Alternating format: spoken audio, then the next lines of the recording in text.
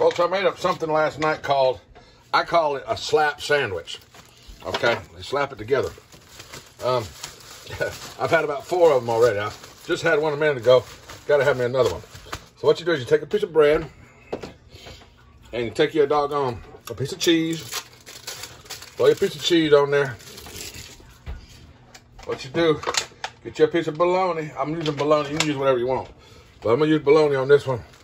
And you fold it over like that. And you slap it. good.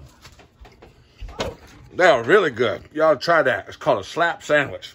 You got to slap it. Mmm, yummy. Slap sandwich.